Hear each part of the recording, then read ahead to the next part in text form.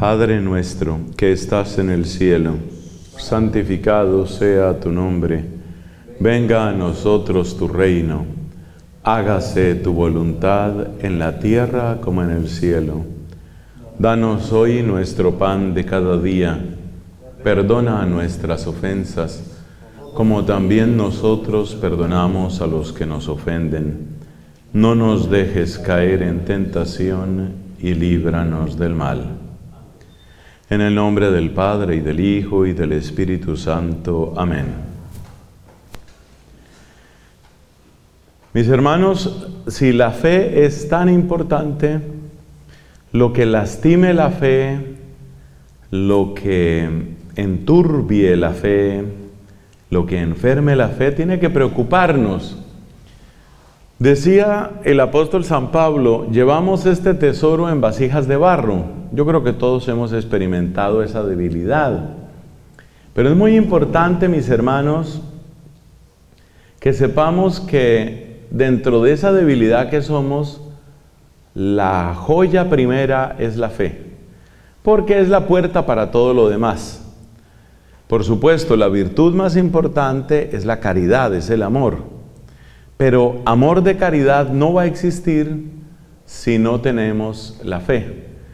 ¿Existirá amor? Claro, amor va a existir, porque el ser humano recibe amor, quiere amor y puede dar amor. Pero amor de caridad es decir, lo que mandó Cristo, que ustedes se amen como yo los he amado, esa partecita es imposible si no entramos en la dimensión de la gracia, de la fe y del Espíritu Santo. Por eso nos interesa tantísimo este tema de la fe y ser sanados en la fe. Mi propia experiencia es que lo que más se lastima en la vida sacerdotal precisamente es esta virtud, la virtud de la fe y es la que muchas veces nos, hace lento el proceso de recuperación cuando hay una caída o nos hace lento el proceso de evangelización. Bueno, ¿cuáles son las heridas de la fe? Pues ahí nos ayuda el derecho canónico que nos habla de tres heridas principales en la fe. Una es la renuncia completa a la fe, que es lo que llamamos la apostasía.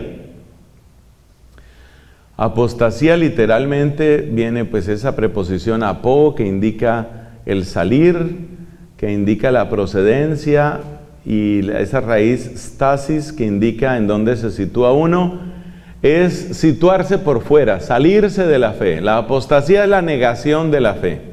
Como cuando una persona dice, yo fui bautizado católico, pero eso no significa nada para mí. Eso fue algo que me hicieron, no fue algo que yo escogí, no me interesa y no forma parte de mi vida.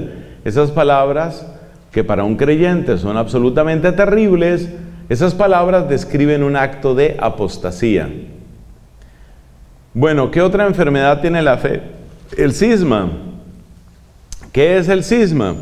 Es el causar una división, se supone que una división de cierta gravedad, causar una división en el pueblo de Dios a partir de una cierta enseñanza de fe. Caso típico, dice Lutero, eh, para mí la autoridad es la Biblia y mi conciencia. El Papa no tiene autoridad sobre mí ni me interesa esa autoridad. Entonces los seguidores de Lutero van a, formar un grupo que por supuesto también tendrá cualidades y tendrá cosas buenas. Aquí no estamos demonizando. Pero el hecho es que se produce una división. Ese es el cisma, una división, una ruptura. Hay bandos, esa es una eh, enfermedad en la fe. La otra enfermedad es la herejía. Llamamos herejía la afirmación persistente eh, de una eh, frase, de una propuesta, de una proposición que es contraria a la fe o que niega persistentemente la fe. Estas palabras resultan sumamente antipáticas en nuestro tiempo, sobre todo porque dan un aire de superioridad, de arrogancia, de intransigencia, que es muy fastidioso en nuestro tiempo. Entonces, si uno habla de herejía, inmediatamente otra persona le va a decir a uno, ¿y ahora qué? ¿Usted es el dueño de la verdad o qué? ¿Qué pasó aquí? es una palabra que fácilmente despierta animosidad, agresividad.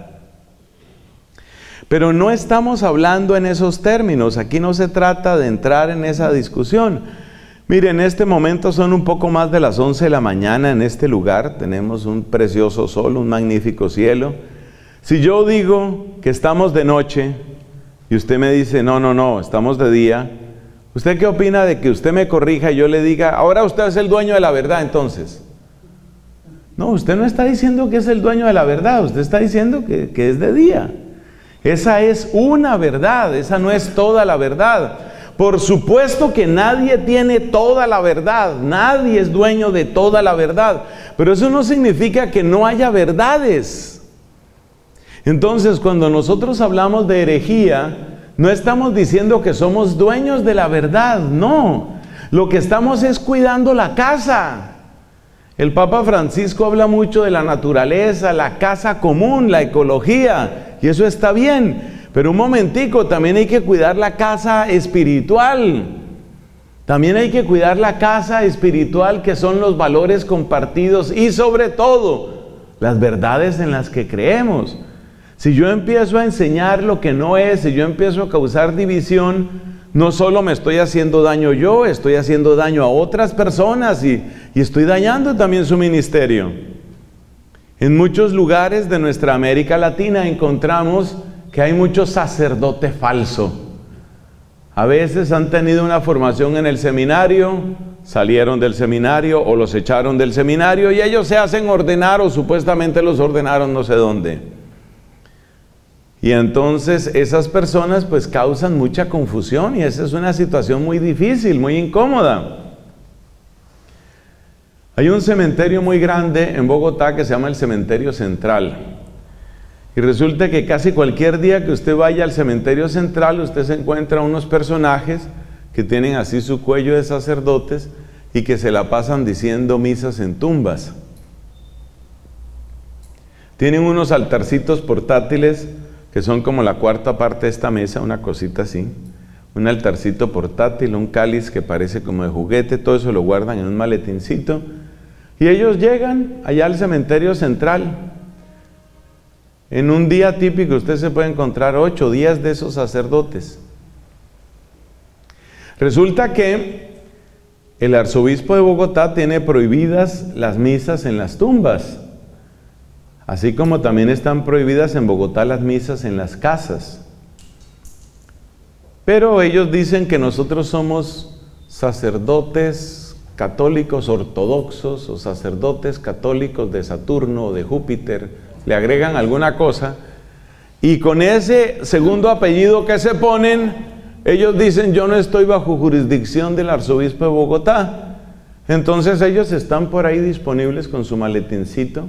En el maletincito le cabe el altarcito portátil, el poquito de vino, unas hostias. Como las hostias son de venta libre en, en Colombia, entonces la gente consigue hostias, consigue su poquito de vino y dicen 10, 12 misas. Y por cada misa reciben algún dinero. A veces es poquito. Yo he preguntado, yo he averiguado. Entonces a veces reciben lo que serían unos 3 dólares, por decir algo. 3 dólares, 5 dólares. Otras veces reciben más, 10, 20 dólares. Entonces eso quiere decir que durante un día una persona de esta se hace fácilmente 60 dólares, día que le va muy bien, un, un, domingo, un día de todos los difuntos, la persona se puede hacer 200, 300 dólares en un día, en un día. Entonces ellos van ahí, van celebrando sus misas y se los encuentra uno. Como algunas veces yo he ido con mi hábito dominicano, entonces estos son muy ecuménicos. Entonces los saludan a uno, padre, mucho gusto, ¿cómo le va? Yo soy el padre, el nombre que sea, ¿no? Yo soy el padre tal, mucho gusto. Soy eh, católico saturniano. Ah, muy bien, católico saturniano. Y saludan, son muy cultos ellos, muy elegantes. Y entonces iban celebrando misas y misas y cada uno celebra 8, 10, 12 misas como son 10 o 15, entonces fácilmente ahí se celebran 200, 300 misas, todo es sobre tumbas y la gente es feliz. Mucha gente, qué tristeza el pueblo católico colombiano, mucha gente feliz con eso. Ay, padrecito, usted pudiera decir, va uno con el hábito, padrecito, usted pudiera decir la misa por mi abuelita que está cumpliendo cuatro años de muerta, puede decir la misa allí en la tumba y uno les explica, no, aquí hay capilla y una capilla. Ay, no, es que yo quería era sobre la tumba. Bueno, muchas gracias. Voy a ver, voy a ver a quién consigo. ¿eh? Un problema grave que tenemos ahí. ¿Qué estoy diciendo aquí? Que los trastornos en la fe nos afectan a todos nos afectan a todos. Muchos de estos sacerdotes que se declaran católicos eh, jupiterianos, aunque debería decirse jovianos, porque ese es el, gentilicio propio de los de Júpiter. Entonces muchos de estos sacerdotes que son jovianos o saturnianos o neptunianos, o el nombre que se quieran poner, ortodoxos o, del rito bizantino antiguo. Yo soy católico del rito bizantino antiguo. Entonces yo voy a decir misa acá y dicen sus misas. Esa persona está muchas veces casada. Entonces muchos de ellos eh, crean una confusión terrible en la gente.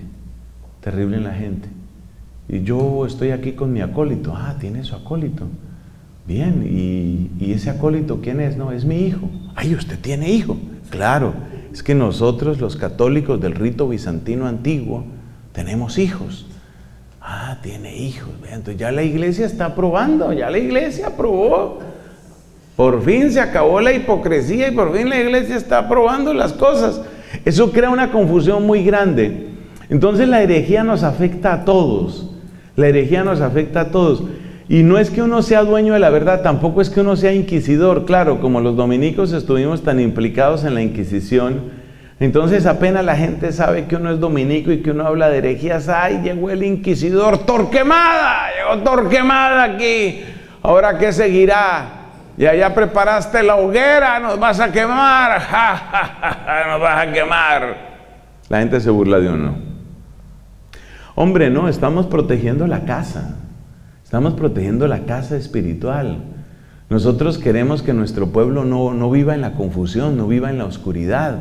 Es muy triste que la religión se vuelva a decir 12 misas, 15 misas, misas de 20 minutos, brincar de tumba a tumba. Y ese es solo uno de los problemas que hay. Uno de los problemas. En otra ciudad de mi país, la ciudad de Bucaramanga, conocí el caso de una iglesia, de estas iglesias que empiezan así como en un garaje y ponen ahí unas sillas y eso va creciendo, va creciendo y eso se volvió grandísimo. Se volvió grandísimo y entonces le pregunto a un amigo católico de allá de Bucaramanga y le digo, bueno, ¿y los del grupo tal qué? Y dice, no, ya, ya, ya se abrieron. ¿Se abrieron qué quiere decir? Que uno de los que estaba ahí ya aprendió cómo era que se hacía lo de los diezmos y lo de la música y todo, ya abrió su propia, ya, ya abrió la suya. Eso hace un daño terrible, eso hace un daño muy grande. Entonces cerramos esta introducción. ¿Por qué hablamos de herejías? Mire, no es por molestarle la vida a nadie. No es porque uno se crea dueño de la verdad, claro que no, solo Dios lo sabe todo. Pero es importante evitar la confusión, es, es importante defender al pueblo de Dios. En Hechos de los Apóstoles capítulo 20, el apóstol San Pablo habla de los lobos que van a dispersar el rebaño. La carta a los hebreos nos habla claramente sobre el problema de las falsas doctrinas. En las cartas de, en la primera de San Juan, en las dos cartas a Timoteo, en la carta a Tito, se habla de falsos maestros. Entonces nosotros tenemos un deber de cuidar el rebaño de Dios. Cuidar el rebaño de Dios especialmente en la fe y en las costumbres. Ese es un deber nuestro. Deber nuestro es avisar a la gente sobre estas cosas. Por supuesto en un tono siempre de respeto, ni más faltaba. Nosotros no estamos invitando a la violencia, pero tenemos que hacer claridad en la gente. Ahora bien, eso para la gente. Pero la pregunta es, ¿y nosotros? Entonces ahora vamos a comentar de cuál es, cuál es la herejía que ha tenido mayor impacto y que sigue teniendo mayor impacto en el mundo sacerdotal, en el grupo de nosotros los sacerdotes. ¿Qué es lo que está teniendo mayor impacto? Todo indica que lo que tiene mayor impacto en nosotros es lo que el Papa Pío X llamaba modernismo. Entonces vamos a comentar un poquito sobre los orígenes históricos y existenciales de la herejía modernista y darnos cuenta por qué sigue existiendo también en nuestro tiempo y por qué es tan contagiosa. Es muy posible que muchos de nosotros tengamos ese contagio, es muy posible. Y lo importante es que si uno descubre que tiene esa fe debilitada o enferma, pues uno tome las medidas para salir de esa situación. Entonces vamos por partes. ¿Cuándo se, se presentó esta situación? Esta situación se presentó en la iglesia en el siglo XIX. El personaje más conocido de la difusión del modernismo fue un sacerdote católico que era de origen francés y que se escribe L-O-I-S-Y.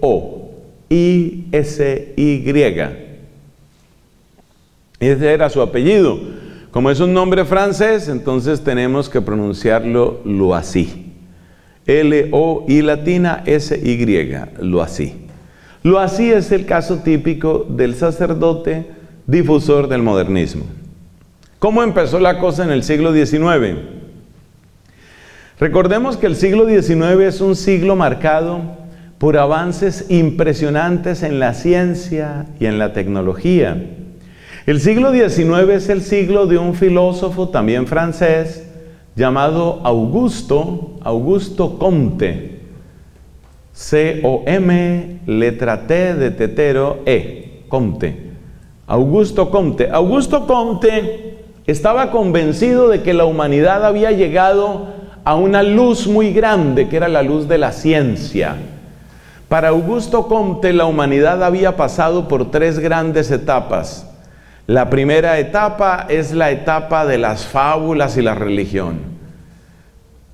La gente utiliza la religión para tratar de darle un sentido al mundo que le rodea. Después viene otra fase que se llama la fase filosófica, en que ya no se buscan las fábulas, sino se busca la filosofía, la metafísica, la epistemología, la axiología, cada una de las ramas de la filosofía, trata de explicar el mundo y de darle una ruta al ser humano en este mundo. Para Comte, esas fueron las dos etapas que ya quedaron superadas. La etapa de los mitos y la religión y las fábulas, por Dios, ya eso está superado. La etapa de la filosofía, de la metafísica, las causas, causa y efecto, eh, principio de exclusión, de tercero excluido, todas, eh, toda, esa, toda esa basura. No, no, no, eso no. El verdadero conocimiento es el conocimiento científico, conocimiento que él llamó conocimiento positivo. La palabra positivo no se interpreta ahí en oposición a negativo, sino positivo, el primer sentido que tiene en latín es del verbo ponere y positivo viene de positum. Positum quiere decir lo que ha sido puesto delante. Entonces el conocimiento positivo, según Comte, es el conocimiento que proviene de los hechos y que se rige por las leyes, esas leyes que con gran esfuerzo descubren los científicos. Entonces el siglo XIX es un siglo de auge del conocimiento científico y casi diríamos de admiración del conocimiento científico. En el siglo XVIII ya se había dado un paso en esa dirección en Francia. La ilustración francesa había presentado a la razón como la única diosa que merece el culto de la especie humana. Usted recordará ese famoso cuadro donde aparece una mujer que lleva sus senos descubiertos, y esta mujer con una bandera y una actitud beligerante de vanguardia está guiando al pueblo hacia la luz y esa mujer representa la diosa razón.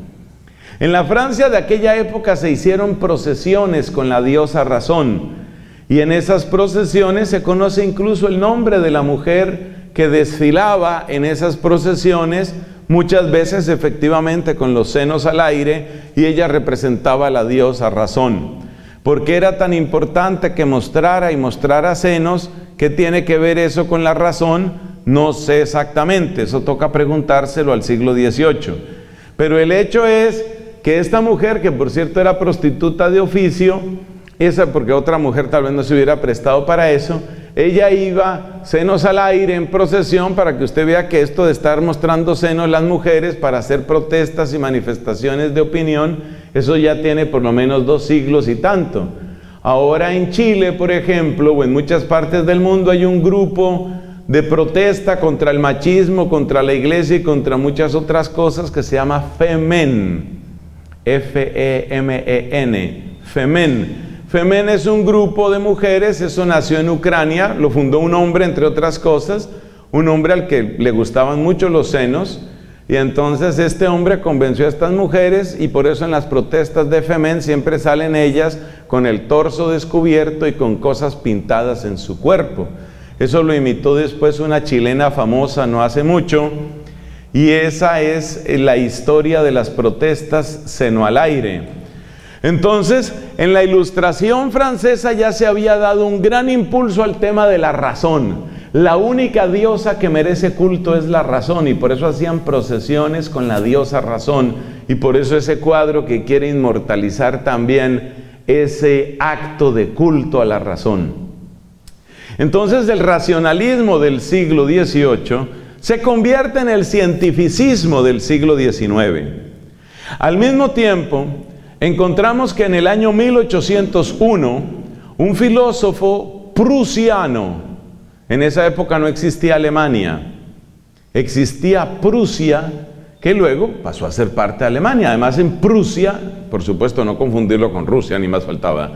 Prusia era, eh, se hablaba alemán. En la ciudad de Königsberg vivía un filósofo llamado Emanuel, Emanuel o Immanuel Kant.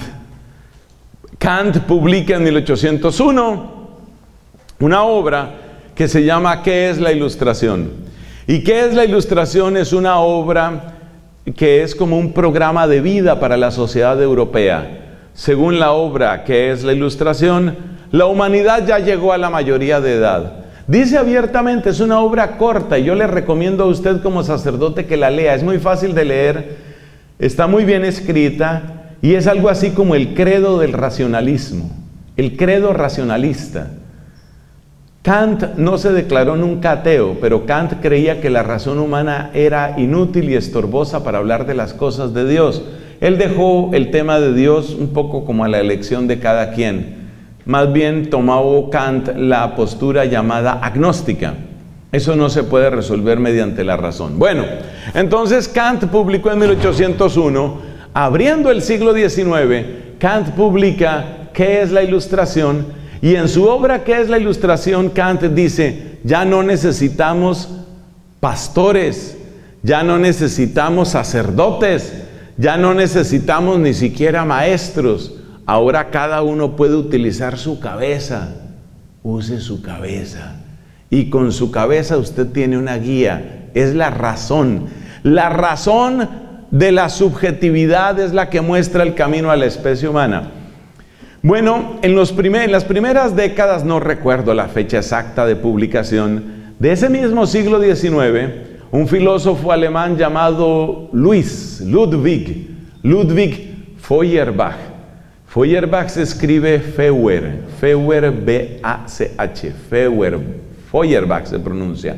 Ludwig Feuerbach publica un libro que es un golpe decisivo a la fe cristiana. El libro se llama La esencia del cristianismo. Una de las frases de ese libro de Feuerbach se convierte realmente en un estribillo que repetirán miles y miles de europeos. El estribillo es, no fue Dios el que hizo al hombre, fue el hombre el que creó a Dios. Para un joven pensador alemán llamado Karl Marx, ese es el golpe último y decisivo contra la religión. Por eso Marx dice, Ya no hay que perder tiempo discutiendo el problema de Dios. Ya Feuerbach lo resolvió. Ya se sabe que no hay Dios, no perdamos tiempo con eso. Es decir, Marx, estamos hablando de mediados del siglo XIX, Marx considera que ya la crítica de la religión llegó a su madurez y obtuvo su fruto y ya no hay que discutir el tema. Ese es el siglo XIX, el siglo del cientificismo, también llamado positivismo de Comte, el siglo de la idolatría de la razón, ecos de la Revolución Francesa, el siglo donde Kant dice, ya somos mayores de edad, no necesitamos tantos sacerdotes que nos esté diciendo, haga el bien, no sea malo, vaya para el cielo, cuidado cae en el infierno, dejen esas tonterías, ya la humanidad creció, ya no necesitamos eso. Con esa manera de expresarse, aunque él era más respetuoso que mi lenguaje, Kant estaba haciendo eco a otro famoso pensador francés, conocido por su seudónimo. Ese pensador era Voltaire. Se escribe, por supuesto, Voltaire, con B corta. Voltaire consideraba que la religión era simplemente una maraña de supersticiones que servía a los intereses de una clase social llamada el clero. Y es una gran ironía de la vida porque el clero francés de la época era notablemente virtuoso.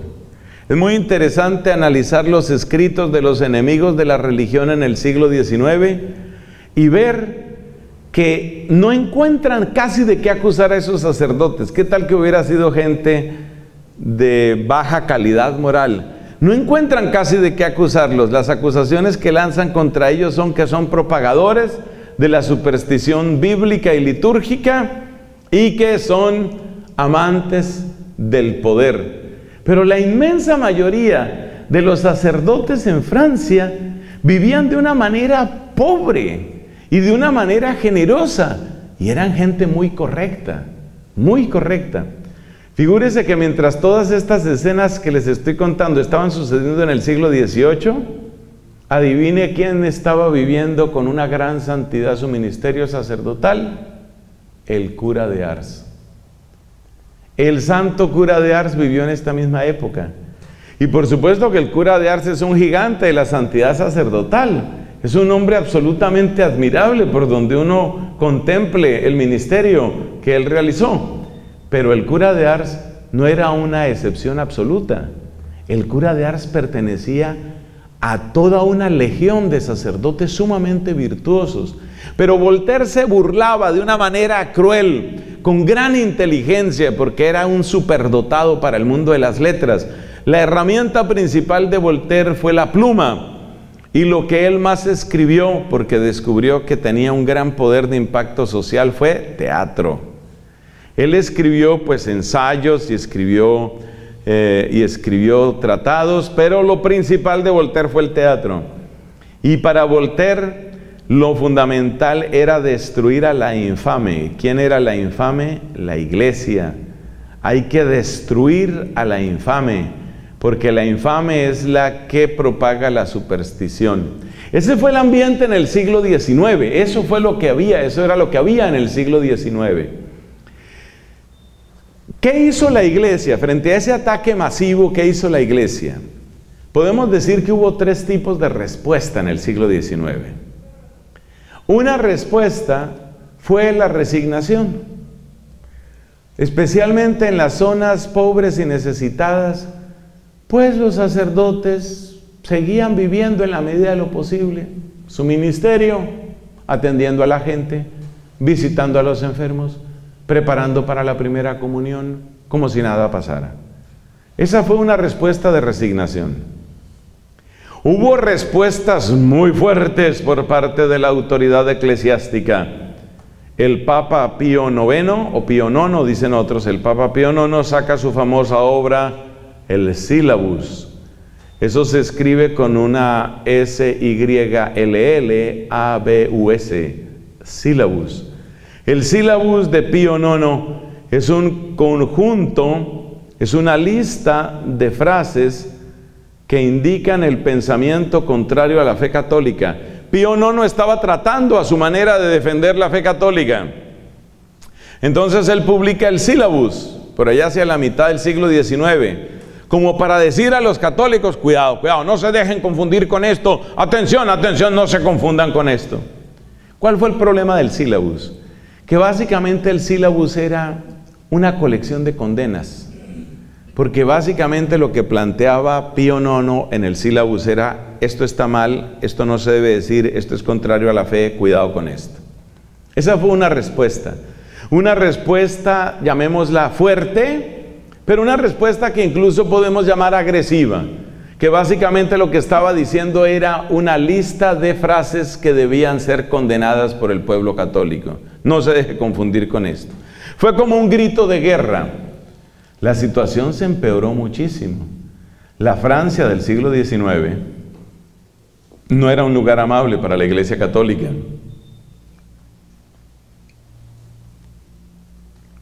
Supongo que todos hemos oído hablar de la inmensa fama de la universidad llamada la Sorbona.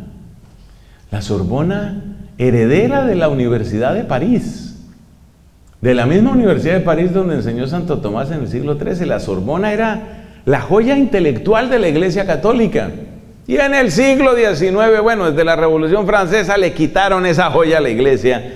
Y la Sorbona ya no era ni es lo que queda de esa universidad, no tiene nada que ver con la Iglesia. O sea, realmente era un tema de mucha agresividad. Ya les conté también que nuestra orden dominicana fue suprimida, lo mismo que muchas otras comunidades religiosas fueron suprimidas completamente en Francia.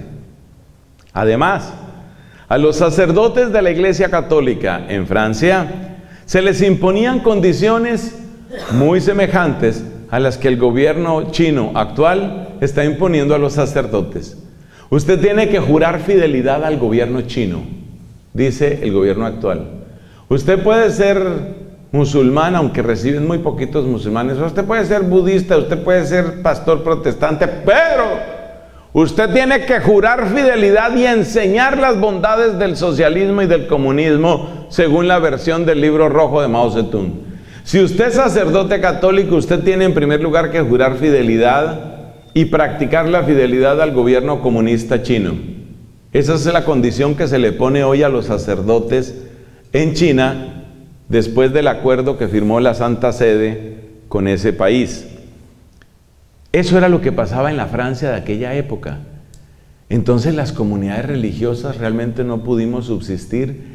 En la segunda mitad del siglo XIX empieza el resurgir de las comunidades religiosas. Entonces hay un sacerdote llamado Enrique Lacordaire, que es el que va a trabajar en la restauración de la orden dominicana en Francia y así con otras comunidades. En ese ambiente, ¿qué cree usted que pasó con los sacerdotes?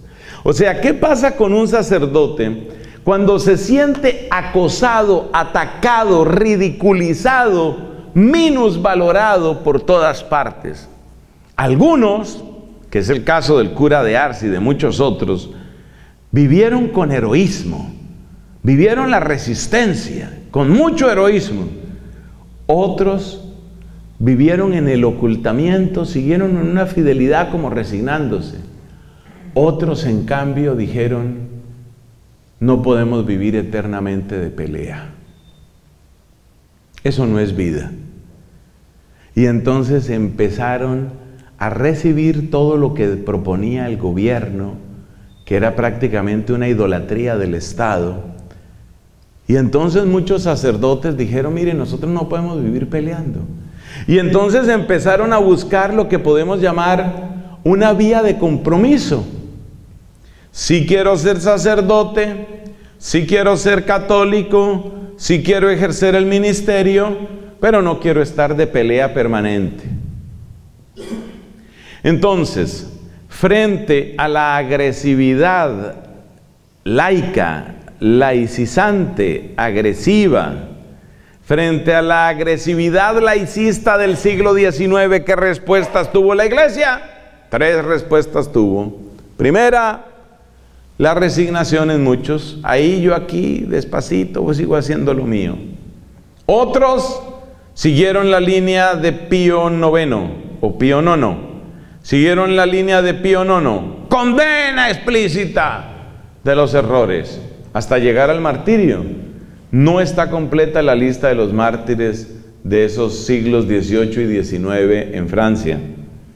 Otros, y ese fue el caso de lo así, dijeron, hombre, no vamos a pelear, no peleemos, no vamos a vivir de pelea todo el tiempo.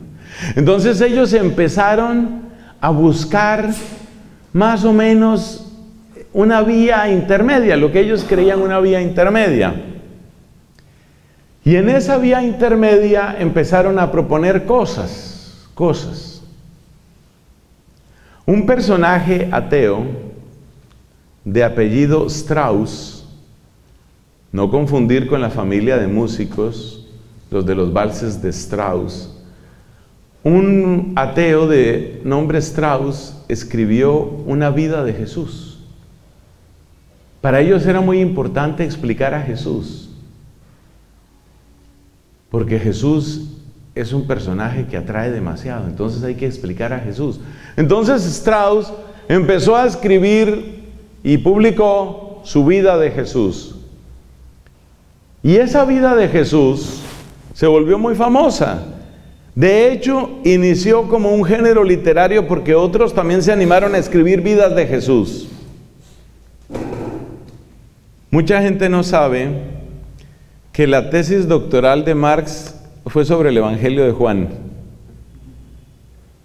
El estudio de la religión, desde un punto de vista que ellos consideraban científico y racional, fue bastante popular en aquella época. Era muy importante para ellos.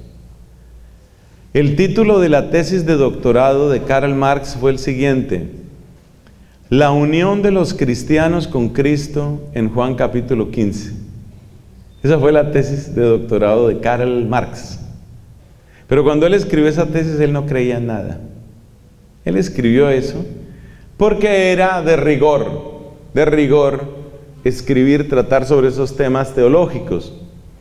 Entonces, las vidas de Jesús empezaron a difundirse. Pero esas vidas de Jesús, ¿qué presentaban? ¿Cuál Jesús presentaban? Esa es la pregunta más interesante. ¿Quién era ese Jesús que presentaban las vidas de Jesús, como la de Strauss y otros? Esas vidas de Jesús querían presentar, pues obviamente, la vida del Señor, pero sobre todo querían explicar esa vida a la luz de los valores científicos, tecnológicos, racionalistas del siglo XIX. ¿Y eso cómo se hace? Se hace de esta manera. Usted empieza, usted empieza por negar los milagros. Lo primero es negar los milagros. Los milagros son embellecimientos literarios. Los milagros son fantasía. Los milagros son fruto de la ignorancia de la gente. Los milagros son recursos de evangelización para hacer atrayente a una persona. Porque si no se cuenta algo extraordinario, ¿quién te va a poner cuidado? Entonces las vidas de Jesús empiezan a hacer una operación que es mutilar lo sobrenatural de la figura de Jesús. Entonces, ¿quién es Jesús? De acuerdo con esta postura, que es la de las vidas de Jesús como la de Strauss. ¿Quién es Jesús ahí? Jesús es una persona humana. Jesús es un gran líder, un hombre valiente, un hombre coherente, un hombre solidario, un hombre generoso, un hombre bueno un modelo de humanidad. Lo que proponen las vidas de Jesús básicamente es que empecemos a mirar a Jesús no como un personaje que viene de la eternidad y que existió desde siempre. No, no, calla, calla, calla, calla. Jesús es un hombre, es un hombre como nosotros, pero es un hombre valiente, coherente, generoso, pacífico, es un hombre lleno de bondad y por eso es un gran modelo. Entonces, esa corriente literaria que empieza a mirar a Jesucristo como un hombre absolutamente admirable, absolutamente notable, empieza a producir una gran confusión en el pueblo católico y especialmente en algunos sacerdotes.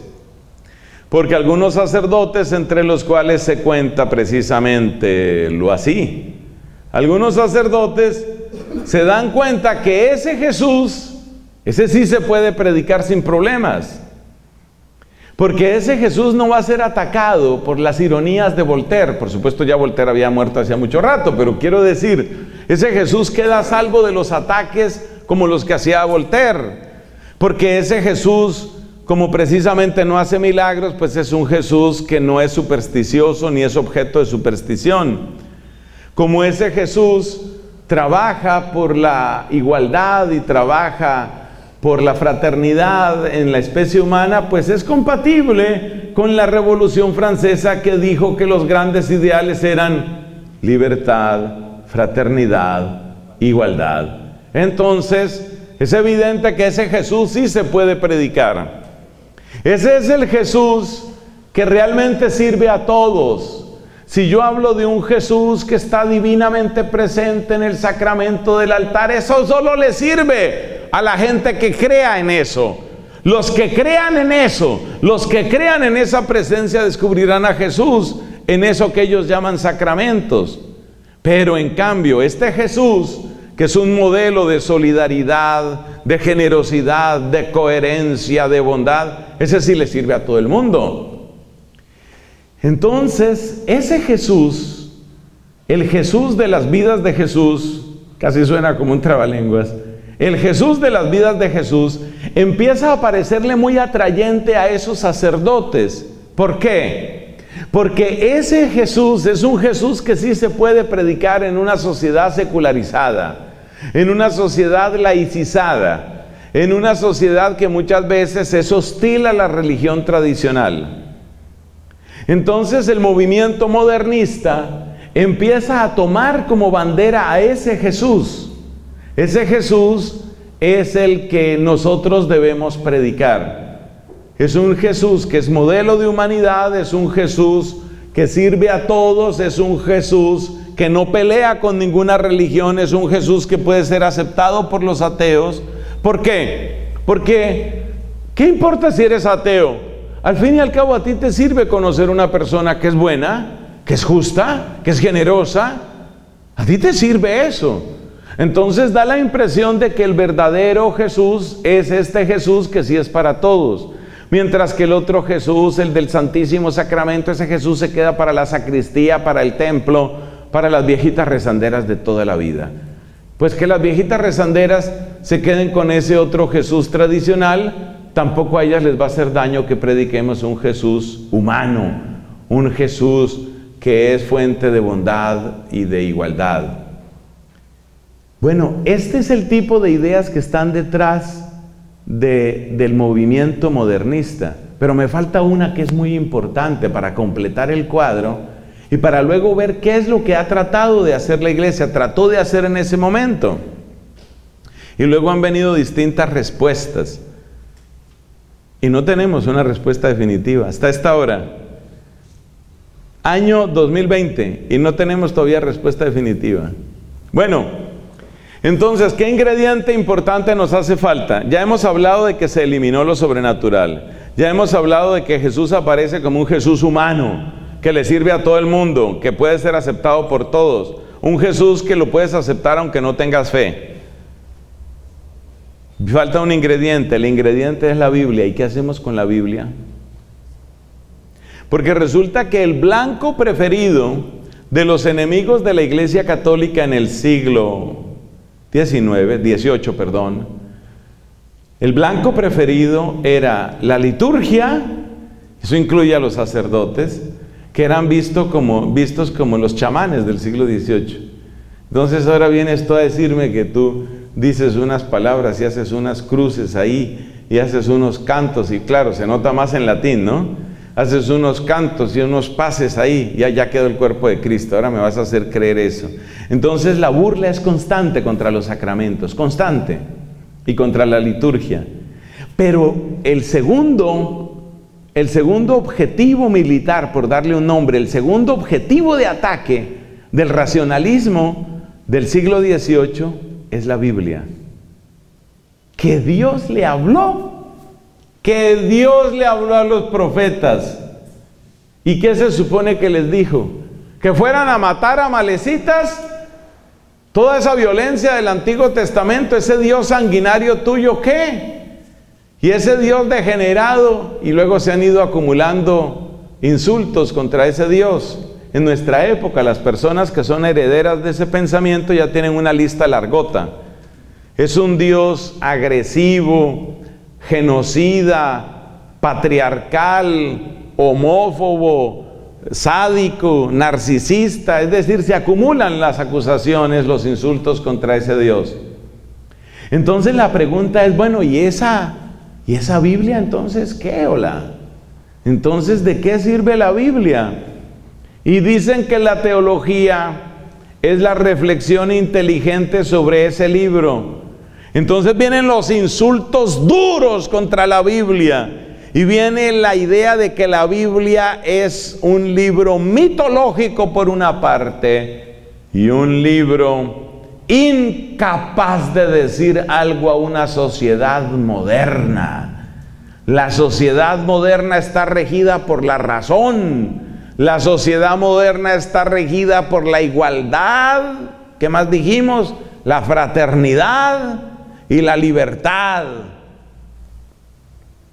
En esa sociedad moderna no puede caber, ay de por Dios, un libro que escribieron una cantidad de pastores atrasados, una cantidad de agricultores que no sabían ni siquiera lo que nosotros sabemos de tecnología. Y nos vamos a regir por esa Biblia. Entonces los ataques contra la Biblia eran brutales, eran ataques muy fuertes, muy, muy fuertes. Eso tuvo repercusión en los sacerdotes. Todo lo que le pase a la iglesia nos llega a los sacerdotes. Y todo lo que le suceda a los sacerdotes repercute en la iglesia. Eso es así, eso siempre pasa. Entonces, todos estos ataques contra la Biblia, que eran el pan de cada día en Francia y en otros lugares, llega el momento en el que tienen repercusiones. Entonces viene un tema, ¿cómo hacer una lectura racional de la Biblia? Para ellos estaba claro, esa era la hipótesis con la que trabajan, está claro que la Biblia que la Biblia es un libro de mitos y fantasías y fábulas. El libro que le sirve a esa gente llamada el clero para mantener su poder y hacer sus ritos. Para eso es que sirve la Biblia. Para que esos tipos sigan haciendo sus ritos y hagan dinero y tengan poder con eso. Pero se puede hacer una lectura racional de la Biblia, se puede analizar racionalmente la Biblia. Pues le cuento que ya desde el siglo XVII, en el mundo protestante, ese esfuerzo había empezado. Hay un señor que se llama Rey Marus, R-E-I, Marus, Rey Marus, ya desde el siglo XVII, él empieza a intentar un análisis racional de la Biblia. Es decir, tomemos a la Biblia como un libro, no nos pongamos con todo el aspecto medio mágico, según ellos mágico. No nos pongamos con el aspecto mágico, supersticioso, que Dios habló y que el otro le escuchó y que el oráculo. No, no, no, no, no. Tomemos el libro como tal y analicemos el libro como tal. Analicemos los textos. Y del análisis de los textos tratemos de sacar conclusiones de qué sirve y qué no sirve de la Biblia. Ese fue el estilo racional de Rey Marus. Y detrás de Rey Marus vinieron otros haciendo ese mismo tipo de análisis. Entonces ahí aparecerá, por ejemplo, mucho más tarde, hacia el siglo XIX, XX, aparece un hombre llamado Yesenius, que va a hacer lo mismo. Finalmente, ya entrado, bien entrado el siglo XX, hay uno que resume toda esa búsqueda. Es un teólogo protestante que se llama Rodolfo, Rudolf Bultmann. Bultmann se escribe B grande, U-L-T, M-A-N-N, Rudolf Bultmann.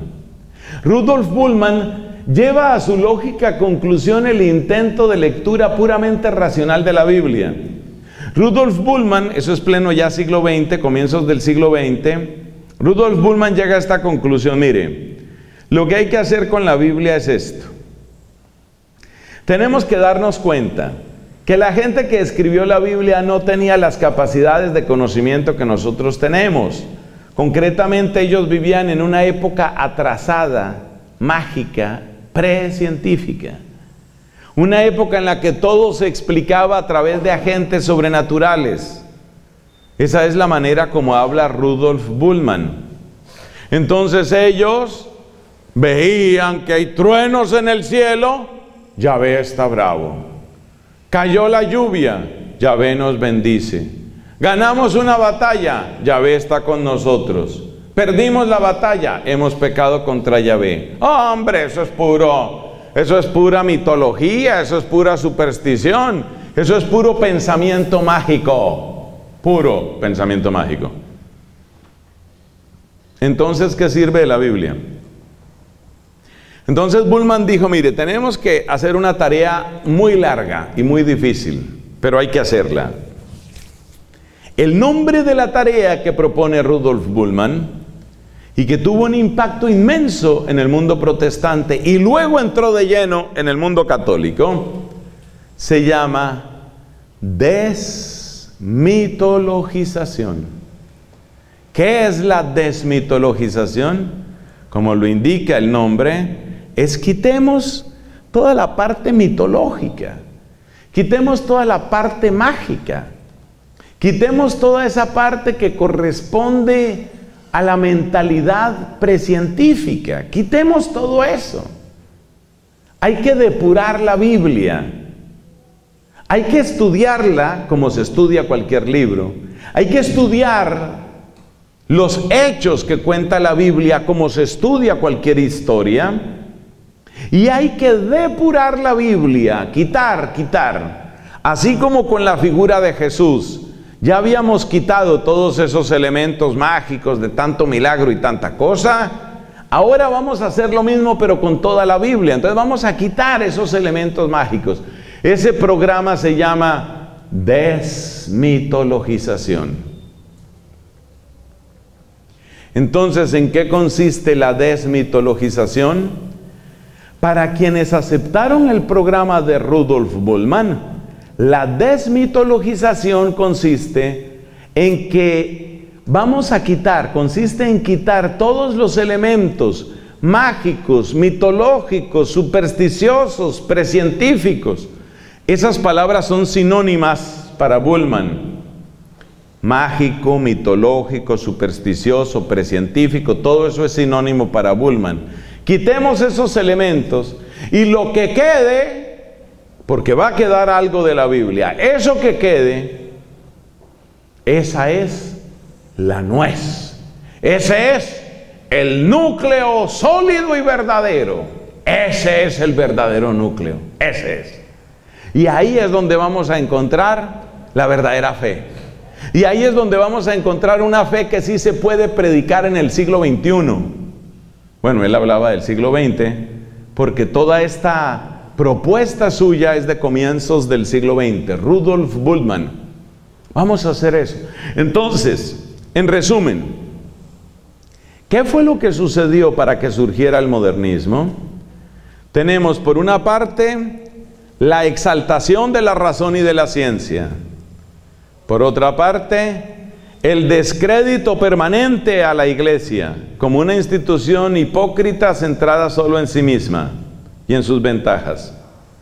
Van dos elementos. Por otra parte, vamos a purificar, vamos a limpiar la figura de Jesús.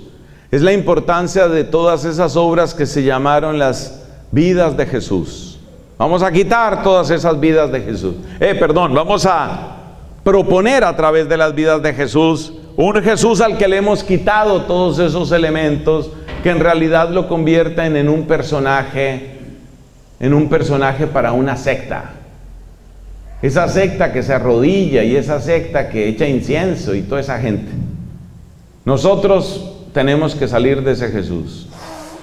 Entonces, a ver, Dios mío, ayúdame para hablar en orden. A ver los elementos, que no me confunda. Primer elemento, exaltación de la razón y la ciencia. Segundo elemento, descrédito de la iglesia como institución hipócrita y centrada en sí misma. Tercer elemento, eh, Jesús, presentación de la figura de Jesús al alcance de todos y para los tiempos modernos. Y cuarto elemento, ahora sí los dije en orden, cuarto elemento, la Biblia.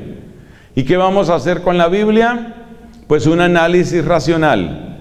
Ese análisis racional e histórico es el que va a producir que al final tengamos la verdadera propuesta de la fe. ¿Qué hace el Papa Pío X cuando se encuentra con esto? Él se da cuenta de que todos estos pensamientos, todo este modo de pensar y de ver la fe, ha entrado de lleno en la Iglesia Católica. Él se da cuenta que es la situación de un hombre como lo así. Él se da cuenta que no son solamente los fieles, los laicos, llamemos así, sino que muchos sacerdotes están en ese plan. Porque luego esto va a tener otras consecuencias. Por ejemplo, ¿quién debe gobernar en la iglesia? Ese tipo de preguntas que las llamamos las preguntas existenciales, preguntas existenciales que dieron origen al modernismo, son interesantísimas. Ese es el tema de nuestra siguiente charla. Y eso hay que estudiarlo, eso es apasionante porque uno siente que, por lo menos eso he sentido yo preparando estos temas, uno siente como que le aclara cosas que uno mismo ha vivido, incluso tentaciones que uno ha tenido. Entonces, por ejemplo, el gobierno, si vamos a ser lógicos y racionales, pues deberían ese elegirse a los obispos. Los obispos deberían ser por elección popular. Claro, tendría que ser por elección popular. Y elección popular no son solamente los curas, la gente debería votar. Este teólogo famoso, hoy ya, digamos, poco visible, de origen suizo, Hans, H-A-N-S, Hans Küng. Ese Küng se escribe K-U-N-G. Esa U lleva diéresis, Hans Küng. Hans Küng, suizo, dice eso, la iglesia tiene que volverse una democracia y todo el mundo debería votar. Eso es lo que tendríamos que hacer, volvernos una democracia, dejar esos mecanismos de nombramiento tan raros, llenos de intrigas, de influencias, tan corruptos. Quitemos todo eso y a elegir todo el mundo. Bueno, entonces el Papa Pío X saca una encíclica. Esa encíclica famosa, amada por unos pocos, detestada a rabiar por muchos, es la famosa encíclica Pascendi. Pascendi se escribe P-A-S-C-E-N-D-I, o sea que tiene una S-C, Pascendi. Pascendi pues se refiere al pastoreo, ¿no? Algo así como el ministerio de pastorear. Es lo que el origen de esa palabra. Entonces, en su encíclica Pascendi, el Papa arremete contra todo este conjunto de situaciones. Acuérdese las cuatro causas de la herejía modernista. Él arremete contra todo eso. Y más o menos sigue el estilo de Pío IX. Es decir, vamos a condenar lo que hay que condenar. La verdad es que eso ha sido muy complicado. Si uno analiza objetivamente lo que ha sucedido, es muy difícil decir que se han logrado los frutos que se querían. Muy difícil. Porque realmente los ataques del mundo parece que lograron, esta es la frase más rara que voy a decir hoy, los ataques del mundo parece que lograron su objetivo principal, y era que la iglesia respondiera atacando. Esa es la frase más rara que voy a decir hoy, se la repito.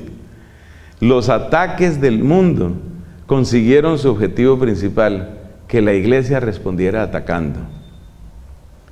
Y ha habido una cantidad de papas, pues imagínate, desde Pío X hasta nuestros tiempos, tratando de manejar ese tipo de situación de otra manera.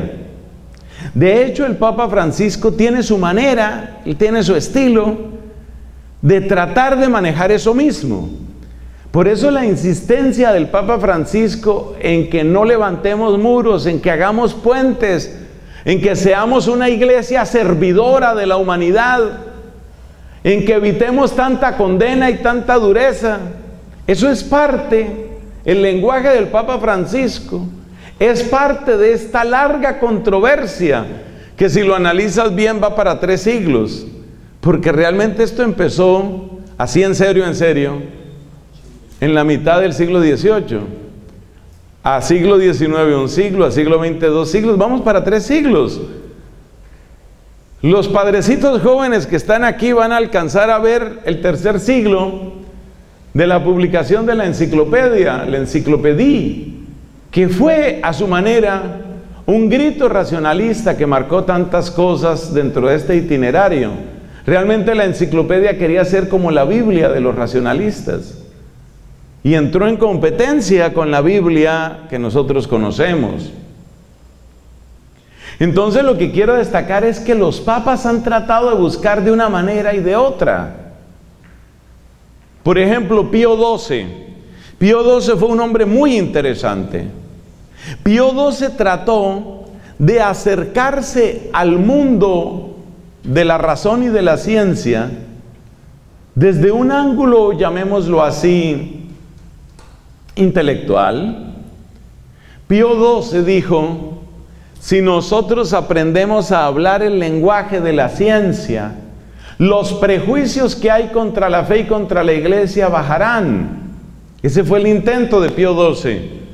Entonces Pío XII habla sobre investigación histórica, sobre géneros literarios, habla sobre una cantidad de problemas que surgen precisamente en las controversias entre fe y razón. Pío XII intenta una aproximación de altura, una altura fundamentalmente intelectual. No se nos olvide que Eugenio Pacelli, o sea, el Papa Pío XII, era un hombre de una cultura impresionante y según todos le conocieron, tenía otras dos cualidades.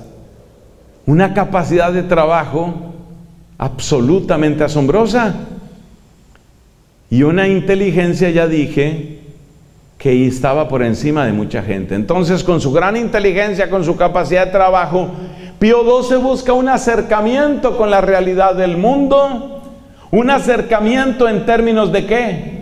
Un acercamiento en términos de yo puedo comprender lo que tú dices, no hay necesidad de que peleemos, podemos buscar esa unidad entre razón y fe. Bueno, ¿qué otro tenemos por ahí?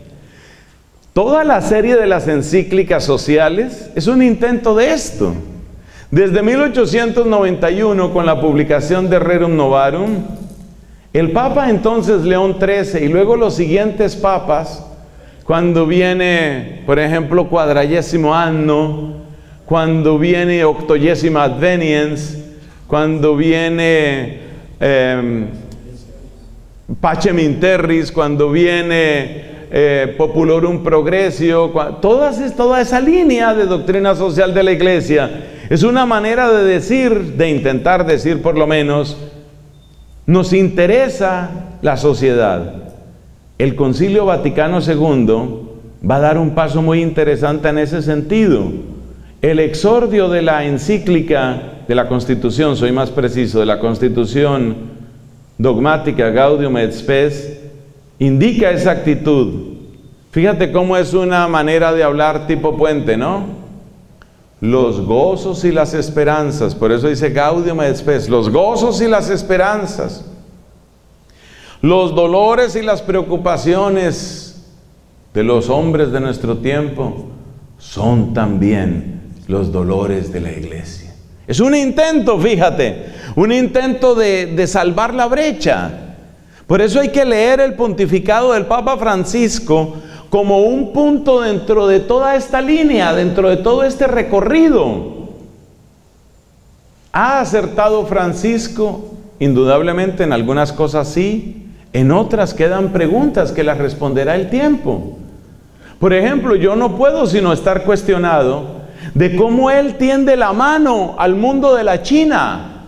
Por primera vez después de siglos de desaveniencia, siglos no, muchas décadas de desaveniencia, se firma un tratado entre la Santa Sede y China y después cada semana están destruyéndose iglesias en China. Entonces uno puede preguntarse qué tan bueno ha sido ese acuerdo. Sí, uno puede preguntarse eso. Pero ¿quién ha acertado? ¿Quién lo ha logrado? Y si nos damos cuenta, cada uno de estos papas ha intentado algo. Entonces, Pío XII, sigo en orden cronológico. ¿Qué intentó Pío XII? Intentó una aproximación por lo alto, desde la esfera intelectual de la verdad, del diálogo al más alto nivel. Después de Pío XII, viene Angelo Giuseppe Roncalli, el Papa Juan XXIII, el Papa de la Sonrisa, bueno, el Papa de la Sonrisa llaman a Juan Pablo I, el Papa bueno, el Papa bueno, el Papa tierno por excelencia. Este es el Papa que cuando se despide de los fieles, a mí eso me parece de lo más tierno que ha hecho un papa, pero este que tenemos también está muy lleno de ternura. Mira lo que hace Juan 23 despidiendo a la gente de la plaza de San Pedro. Les dice, así como hablan ellos, ¿no? ¿Os puedo pedir un último favor? La gente quería muchísimo Juan 23, ¿no? Muchísimo. ¿Os puedo pedir un favor? Claro, todo el mundo le dice, sí, sí, santidad. Cuando lleguéis a casa, abrazad a vuestros hijos, dadles un beso y decidles que el Papa les manda ese beso. Ay, qué cosa tan tierna. Es un hombre lleno de ternura, es un hombre. Ese es Juan 23. Entonces Juan 23 utiliza el buen humor, utiliza la ternura. Él hace más que condenas, él hace apelaciones, exhortaciones. Uno lee Pache Minterris, por ejemplo, y uno se da cuenta que es el lenguaje, uno diría, de un buen amigo. Un buen amigo que está diciendo, ya no nos matemos más. Nadie está ganando con esto. Pacem Interris fue escrito en un momento muy dramático. Acuérdese que era la época de la Guerra Fría. En cualquier momento podía estallar la Tercera Guerra Mundial, que iba a ser una guerra nuclear. Y el tono de Juan 23 es el de un amigo. Démosle paso a la sensatez. Voy a decir una cosa ridícula. Se parece incluso al tono de esa canción famosa de rock. Give peace a chance. Dale una oportunidad a la paz. El lenguaje de Juan 23 es ese. El 11 de octubre, me parece que fue 11 de octubre de 1961, él inaugura el Concilio Vaticano II. No se queden, por favor, no salgan de este retiro sin leer la homilía de Juan 23 al inaugurar el concilio. Ese, ahí está retratado él. Cuando dice Juan 23 en su homilía de inauguración del concilio, dice, ya hemos aprendido las lecciones, ya sabemos a dónde consigue la, a dónde lleva la violencia. Es un tono tan conciliador, es un tono tan bello, pero un tono tan ingenuo también. Entonces lo de Juan 23, bueno, él intentó Muchas cosas de las que él esperaba del concilio no le salieron como él pensaba. Cuando él empezó su pontificado, Juan 23, él dijo, tengo dos proyectos, o creo que eran tres, pero yo me acuerdo de dos. Tengo dos proyectos. Y para él eran muy parecidos. Vamos a hacer un sínodo especial para la iglesia de Roma y vamos a hacer un concilio ecuménico. Eso es lo que vamos a hacer. Y para él eran dos cosas muy parecidas. Hoy nadie habla del sínodo de Roma, que fue como en el año 59, 60, 59 me parece. Hoy nadie habla del sínodo de Roma, ni eso importa tanto. El Concilio Vaticano II, en cambio, tiene una repercusión inmensa, inmensa, inmensa. Pero eso muestra un poquito ese tono de ingenuidad de Juan 23. Y él creía que el Concilio Vaticano, Concilio Vaticano II, se iba a resolver en una sesión. Él creía que eso iba a ser una cosa de unos meses. Además, si usted mira las cartas previas al Concilio Vaticano II, las declaraciones que él dio, las oraciones que él pedía por el Concilio Vaticano II, que las pedía en público, usted se da cuenta que Juan 23 pensó que el concilio iba a ser cosa de unas semanas, de unos meses, de una sesión.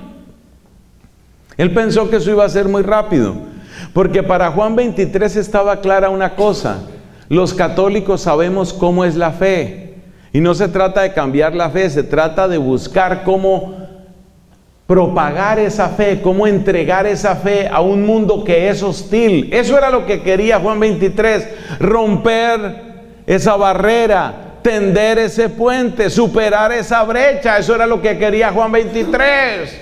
Juan 23 lo que quería era, mire, pongámonos de acuerdo, por eso se dice que es un concilio pastoral no vamos a discutir doctrina, la doctrina ya está clara. Por favor, lean la homilía del 11 de octubre de 1961, inauguración del Concilio Vaticano II. No me estoy inventando nada. Él estaba convencido de que el Concilio Vaticano II iba a ser una cosa breve, ligeramente mayor que ligeramente mayor que el Sínodo de Roma. Y se murió. Muere en el año 1962, muere el Papa.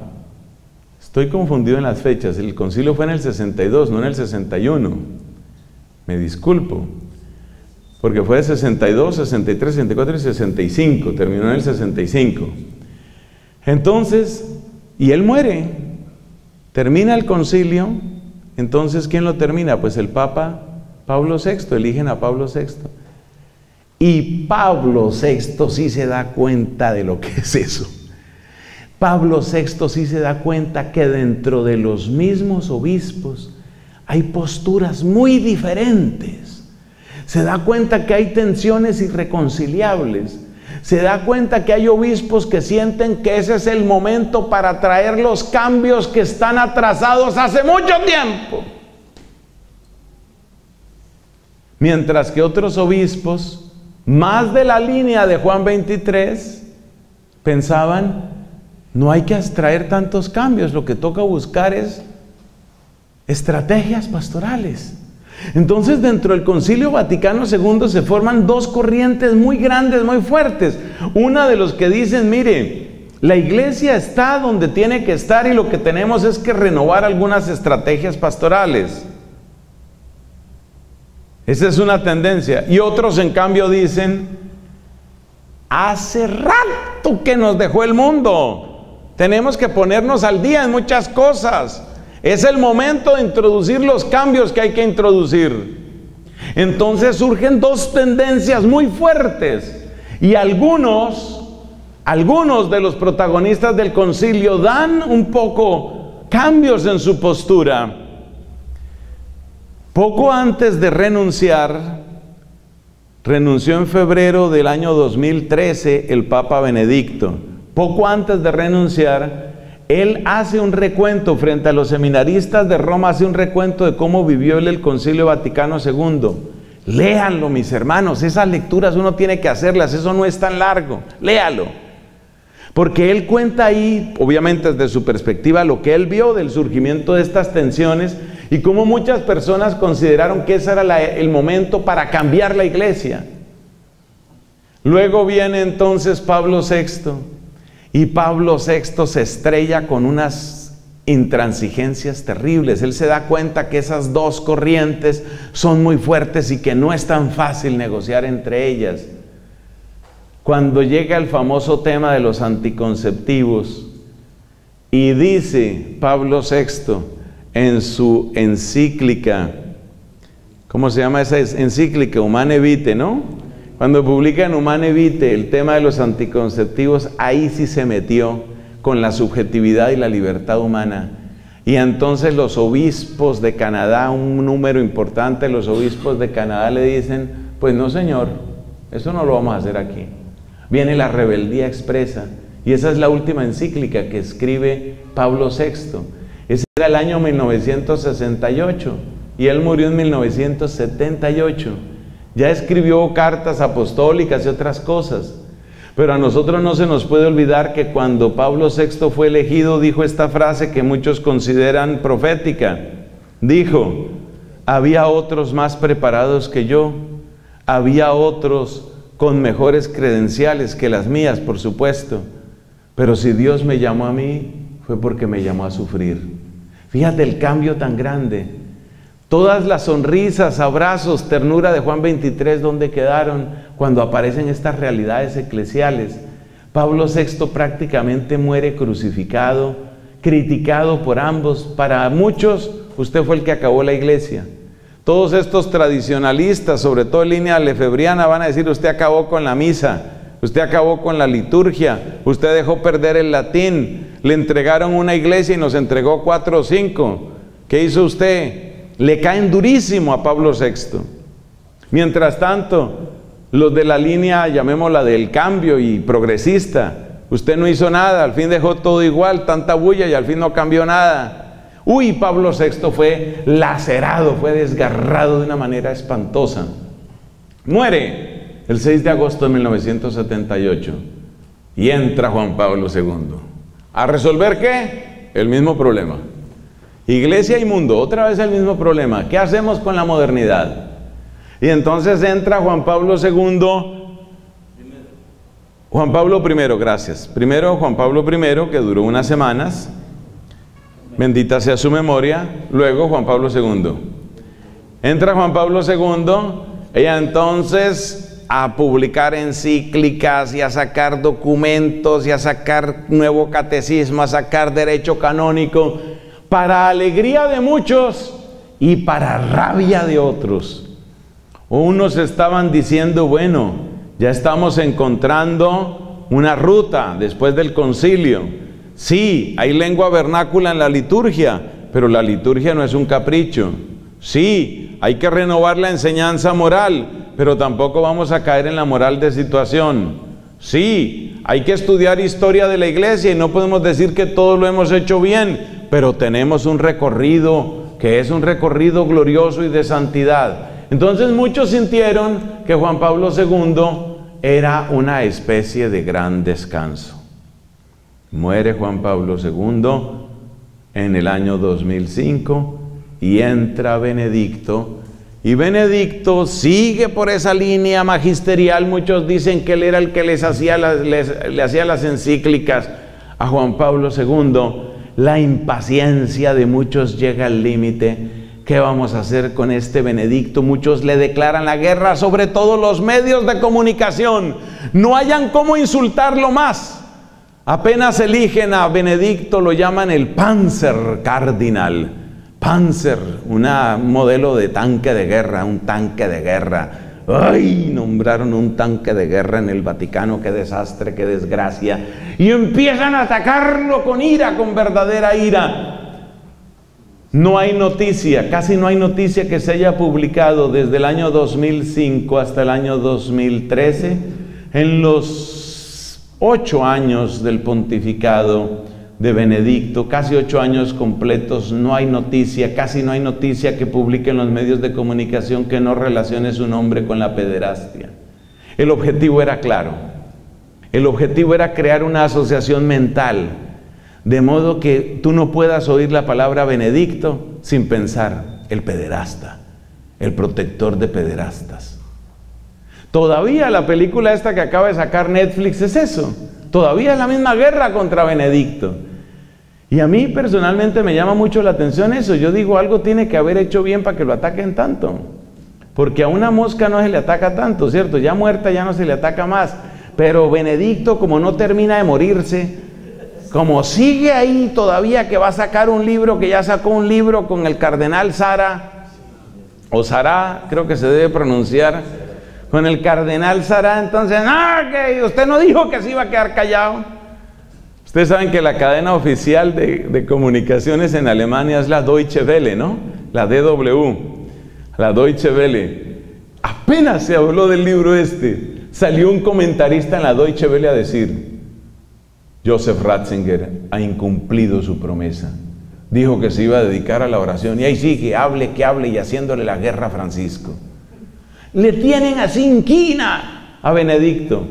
Mientras tanto llega el Papa Francisco y ¿qué hace el Papa Francisco? Otra vez un poco una estrategia parecida a la de Juan 23.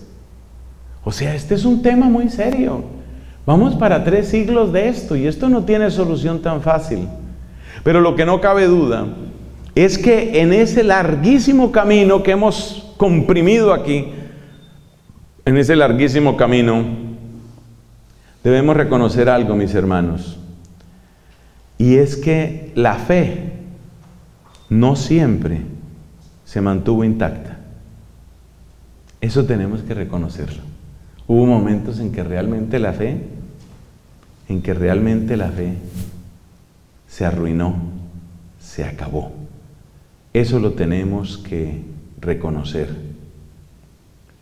Aquí estoy viendo las, las fechas el Concilio Vaticano II fue convocado el 25 de enero del 59, empezó el 11 de octubre del 62 y terminó, como sabemos, el 8 de diciembre del 65. Entonces, hermanos, este recuento hay que hacerlo para entender muchas cosas del pontificado de Francisco, para valorar lo bueno que él está haciendo, para también preocuparse porque no todo lo va a hacer bien. Eso es humano también, ¿no? Yo creo que idolatrar a Ratzinger o idolatrar a Juan Pablo o idolatrar al que sea no es buena idea, tampoco idolatrar a Francisco. Pero es muy bueno situar estos papas dentro del conjunto de este recorrido para ubicarnos nosotros y para ayudar a que se ubiquen nuestros jóvenes, sacerdotes jóvenes y también nuestros seminaristas. Es muy importante ubicarse. Bueno, este es el contexto histórico. Dejamos por aquí en nuestra siguiente charla vamos a referirnos a las preguntas existenciales que en ese proceso de modernidad y de modernismo han hecho resbalar a más de uno. Vamos a referirnos a esa realidad. Gloria al Padre, al Hijo y al Espíritu Santo